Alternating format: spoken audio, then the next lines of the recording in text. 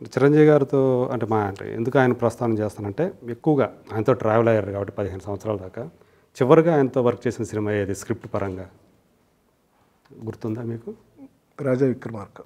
ఓహో ఓకే. అది రవిరాజా గారిదే. రవిరాజ.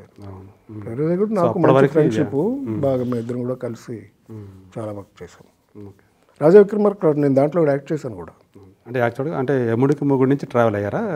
స్క్రిప్ట్ వర్క్ స్క్రిప్ట్ నాకు అంతకు ముందు నుంచి నాకు నాటకాల నుంచి అలవాటు చిరంజీవి గారితో నేను అంటాను చిరంజీవి గారితోనా.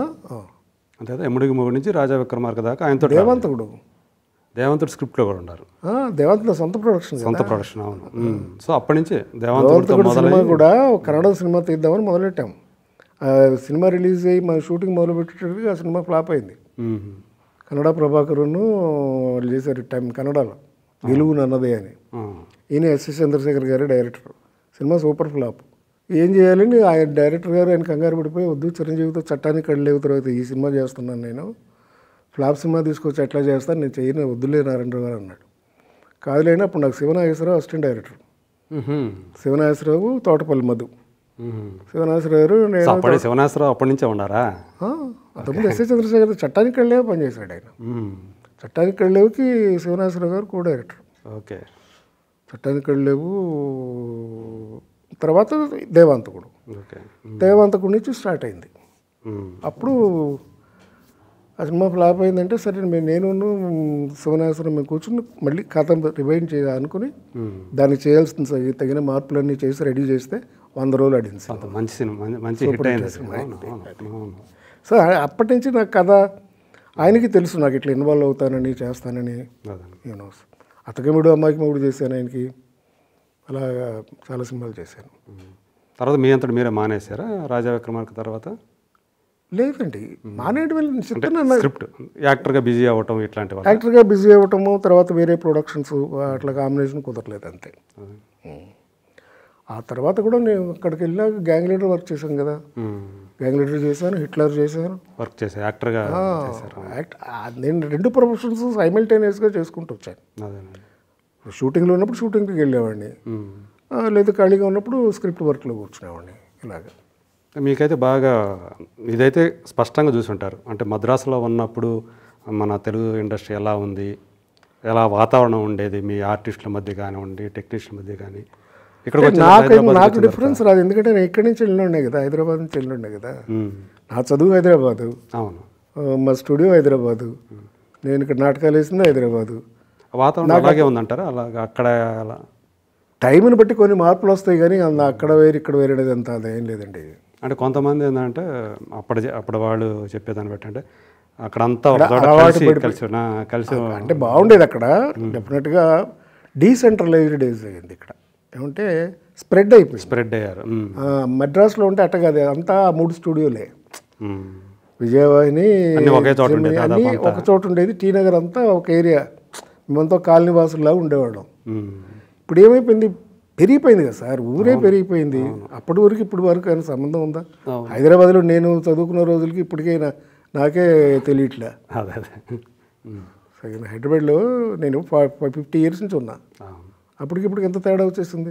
అసలు అప్పటికి లేదు కదా జూబ్లీ హిల్స్ అనేదే లేదు హిల్స్ లేదు అసలు మా ఇల్లే ఇల్లే లేదు ఫిల్మ్ నగరే లేదు. మధురా నగరే లేదు సార్.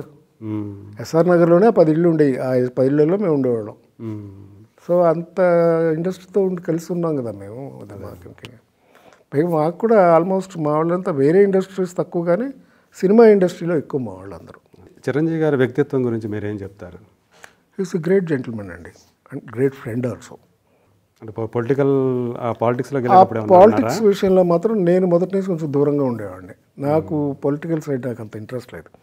బేసికల్గా నేను కొంచెం కమ్యూనిస్టు బేస్డ్ మా ఫాదరు మా అన్నయ్య మా అన్నయ్య కమ్యూనిస్ట్ బేస్డ్ భావాలు ఉన్నవాడు. రవీంద్రనాథ్ జి. రవీంద్రనాథ్ అని. మా భూమి సినిమా తీసాడే ఆయన. మా భూమి రంగుల కళ. Narasimha Rao partner okay. Rabindranath G Ravindranath అని ఆయన. మీ అన్నయ్య గారా? సొంత అన్నయ్య okay okay. Gullapalli Ravindranath. First Mrugayya అని సినిమా తీసాడు మిథున్ చక్రవర్తితో. మృణాల్ సేన్తోనే. బెంగాలీ కదా అది మృగయ్య? హిందీయా? హిందీ. హిందీ. హిందీ మిథున్ చక్రవర్తికి ఫస్ట్ నేషనల్ అవార్డు వచ్చింది. అవును. బెస్ట్ ఆర్టిస్ట్గా. Best artist. మిథున్ చక్రవర్తి ఈ అమ్మాయి మమతా శంకర్ హీరోయిన్. ఆ సినిమాకి ప్రొడ్యూసర్ మా అన్నయ్య. ఓకే.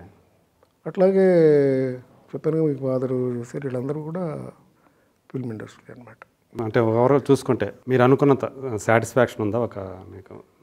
నాకు ఉంది సార్ అంటే ఇంకా చేయాలని ఉంది అవకాశాలు. అవకాశాలు రావడాన్ని బట్టి వచ్చిన దాన్ని బట్టి మా వయసును బట్టి. ఇప్పుడు ఒకప్పుడు హీరో అంటే హీరో వయసులో ఉన్నప్పుడు హీరో చేశాను. తర్వాత క్యారెక్టర్ రోల్స్ అప్పుడు క్యారెక్టర్ రోల్స్ చేశాను. ఇప్పుడు తాత రోల్స్ చేస్తున్నాను.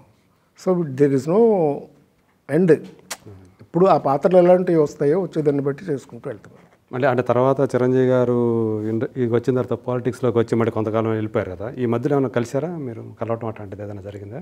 ఏ అకేషనల్ ఏదో కలుస్తూనే ఉంటాం కదా. అదే అదే ఆధారం అదే ఉంటుందండి అదే ఉంటుంది ఏముంటుంది ఎందుకంటే డిఫరెన్స్ ఆఫ్ ఒపీనియన్స్ ఎప్పుడైనా ఉంటే కదా మాకు ఎప్పుడు లేవు ఇన్నేళ్ళలో. ఎప్పుడు ఇది ఒకటి అనుకుని కాదనుకుని ఒకటి ట్రావెల్ చేసాం అంతే. ఆ ఫ్రెండ్షిప్ ఫ్రెండ్షిప్గానే ఉంటుంది. ఇప్పటికీ రజనీకాంత్ కనపడినా ఎక్కడ కనపడినా కౌలించుకుంటాడు అంతే అదే ఫ్రెండ్షిప్గా ఉంటాం. అలాగే మాట్లాడుకుంటాం. ఓకే. ఈ ఫ్యామిలీకి సంబంధించిన ఫంక్షన్స్ ఏమైనా పిలవటాలు అకేషన్స్ అన్నీ జరుగుతాయి. మొన్న మెడ్రాస్లో కూడా మా ఫ్రెండ్ కూతురు పెళ్ళి అయితే వెళ్ళాము. మా పాత స్టూడెంట్స్ అందరం కలిసాము. మా బ్యాచ్ వాళ్ళందరం. ఓహో గెట్ టుగెదర్ లాగా? ఆయన రజనీకాంత్ కళ్యాణ మండపంలోనే పెళ్ళి. ఓకే. ఆ రోజు మమ్మల్ని అందరూ ఆయన తోటకు తీసుకెళ్ళి మా అందరికి ట్రీ ట్రీట్ ఇచ్చాడు. ఇంటికి తీసుకెళ్ళి భోజనాలు పెట్టి బట్టలు పెట్టి పంపించాడు. సో ఎక్కడికి పోవు సార్ అవి. అభిమానాలు ఆ రోజులు మనం మన స్టూడెంట్స్ మనమే వెనక్కి ఒకసారి చూసుకుంటే కాలేజీ రోజులు ఎంత బాగుంటాయి? అంతే. టుగెదర్లు మీటింగ్లు అవన్నీ కలుస్తూ ఉంటాయి. పైగా ఒకే ఇండస్ట్రీలో ఉంటున్నాం కనుక కలవడానికి పెద్ద ఇదేం లేదు. ఏదో ఒక అకేషన్లో కలుస్తూనే ఉంటాం కదా. అదే. అదే మీరు మళ్ళీ ఒకసారి గుర్తుకొచ్చింది. అంతులేని కథ సంబంధించి. ఫటాఫట్ జయలక్ష్మి ఇన్సిడెంట్ ఒకటి చాలా అందరినీ కలిసివేసిన ఇది. సో ఫస్ట్ మీరు కలిసి పనిచేసిన వాళ్ళలో ఆమె ఒకటి కదా. ఇప్పుడు మీరు ఎలా ఒక రకమైన షాక్ ఉంటారేమో కదా అది. ఉంది సార్. ఏం చేస్తామంటే యాక్చువల్ చాలా క్లోజ్గా ఉండేవాళ్ళం మేము. నాకు మీరు ఆమె పక్కన హీరోగా కూడా చేశారు. చేశారు. నాకు ముందు పెళ్ళి కుదిరింది. యాక్చువల్గా నా మా అక్క కూతురే. అక్క కూతురునే నేను పెళ్ళి చేసుకున్నాను. ఓకే. నా పెళ్ళి అయిపోయిన తర్వాత ఆ అమ్మాయి ఏం చేసింది? ఎంజీఆర్ గారి అన్న కొడుకు ఒక అతను ఉండేవాడు. వాడిని వాడితో లవ్లో పడింది. ఆ అబ్బాయి డిచ్ చేశాడు. అందుకని అమ్మాయి సూసైడ్ చేసుకుంది. So it's a bad ending. మంచి ఆర్టిస్ట్. కాకపోతే ఆ పిల్లకి కూడా తొందరగా పెళ్ళి చేసుకుని సెటిల్ అయిపోవాలని ఉండేది. మంచి నాన్నగారు? చాలా మంచి ఆర్టిస్ట్. వాళ్ళ నాన్నగారు డబ్బింగ్ ఇన్ఛార్జ్ సినిమాలు డబ్బింగ్ చేసేవాడు ఆయన. రెడ్డి గారు. అదే. సో అయితే అదే లవ్ డిసప్పాయింట్లో వాడు పెద్ద బిగ్ షాట్ ఎంజీఆర్ అన్న కొడుకు. అదే ఆ ఇష్యూలో షీ అదే కాకపోతే ఆమె అప్పటికే సినిమా ఇండస్ట్రీలో ఉన్న వాళ్ళకి ఇట్లాంటివన్నీ మామూలు విషయాలు కానీ ఆమె ఎక్కువ తీసుకొని ఉంటుంది ఆ లవ్ అనే దాన్ని. చెప్పలేము ఒకళ్ళ వీక్ మూమెంట్. సూసైడ్ చేసుకోక్కర్లేదు తను. వెళ్ళా అప్పుడు ఇంకా మంచి పీక్లో ఉంది. మంచి ఆర్టిస్ట్గా పేరు ఉంది అదే అంతే. చాలామంది అప్పుడు మీతో మీరు ట్రావెల్ అయిన వాళ్ళు మీరు చేసిన వాళ్ళు ఇప్పుడు బాలచంద్ర గారి దగ్గర నుంచి కొంతమంది మనం లాస్ అయ్యాం బాపు గారిని లాస్ అయ్యాం నూతన ప్రసాద్ గారు దేవదాస్ గారు. వీళ్ళందరూ ఎంతమంది దేవదాస్ గారు లక్ష్మి గారు. లక్ష్మి గారు. ధర్మవరపు సుబ్రహ్మణ్యం మన కామెడియన్స్ ఎంతమంది? ఎంఎస్ నారాయణ. ఎంఎస్ నారాయణ గారు. సో పోయిన వాళ్ళందరూ మంచి అని అలా అనుకోవడం కరెక్ట్. అందుకే రాశారు రాత్రి గారు. ఉన్నోళ్ళు పోయినోళ్ళు తీపి గుర్తులు అని. మీరు ఇప్పుడు మీరు వచ్చారు మీ కుటుంబంలో ఇంకెవరన్నా ఉన్నారా? మీ పిల్లలు కానీ లేదండి అంటే సినిమా ఇండస్ట్రీలో లేరండి. మా అబ్బాయి బిజినెస్లో ఉన్నారు ఈజ్ ఎంబీఏ హెచ్ఆర్ అయింది. ఎంబీఏ చేశారు ఆయన బిజినెస్ చేస్తున్నారు. కోడలు కోడలు కొడుకు కోడలు ఇక్కడ ఉంటారు. మొన్న నాకు మనవడు కూడా పుట్టాడు ఐదు నెలలు అయింది. అంతేనా? అవును. ఇదే ఫస్ట్ దేవాంత్ వేదాంత్ పేరు. వేదాంత్ అని పెట్టారా? వేదాంత్. తర్వాత ఒక అబ్బాయి తర్వాత ఒక అమ్మాయి. మ్మ్. అమ్మాయిను మా అల్లుడు ఇద్దరు లండన్లో ఉంటారు. వాళ్ళిద్దరు ఫార్మసిస్టులు. They have their own pharmacy ఇద్దరు కలిసి చదువుకున్నారు. ఏడేళ్ళ పాటు కలిసి చదువుకుని లవ్ చేసి పెళ్ళి చేసుకున్నారు. ఓకే. అబ్బాయి గుజరాతీ. చాలా మంచి కుర్రాడు. సో హ్యాపీగా లండన్గా వాళ్ళు సెటిల్ అయిపోయారు. వాళ్ళ వాళ్ళ అభిప్రాయాలకి వాళ్ళు సెటిల్ అయిపోయారు. వాళ్ళు హ్యాపీగా చదువుకుని మా మంచి scholar.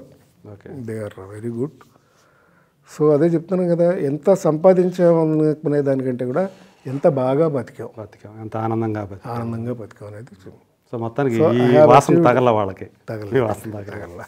మీరు హ్యాపీ అయితే. అంటే తర్వాత కూడా మీరు డిస్ట్రిబ్యూషన్ ఇవన్నీ పక్కన పెట్టేశారు కదా మొత్తం అంతా. కొన్ని కొన్ని బిజినెస్లు అన్నీ అప్ప అంటే నా బైగో ఫిల్మ్స్ అనేది ఎప్పుడో నైన్టీన్ ఫార్టీ సెవెన్ స్వతంత్రం వచ్చినప్పటి నుంచి పెట్టింది కదా. అదే. కొన్నాళ్ళు కొన్నాళ్ళు అయిన తర్వాత ఆటోమేటిక్గా కొన్ని లాసులు రావడం ఓటుపాటు ఓటుపాట్లు అంటే అదే కదండి ఆటుపోట్లు అని లాభాలు ఉంటాయి నష్టాలు ఉంటాయి బిజినెస్ అన్న తర్వాత తప్పవు రిస్క్లు. అదే. సో అలా వస్తేనే స్టూడియో కూడా అమ్మేసాం మా మా కింద లేదు ఇంతకుముందు మాకు ఉండేది స్టూడియో. అది అమ్మేసి కూడా ఒక పదే పదేళ్ళ పైన అవుతుంది ఏ స్టూడియో? సారది సా- ఆ, ఓకే. సారది స్టూడియో. మీ కింద ఉంది అది? అదే ఒకప్పుడు మా నాన్నగారు చెప్పాను కదా కట్టిందే మా నాన్నగారు.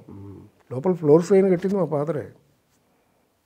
ఆయన ఇరవై ఏళ్ళు మేనేజ్ చేశారు స్టూడియోని. మేనేజింగ్ డైరెక్టర్ మా నాన్నగారు.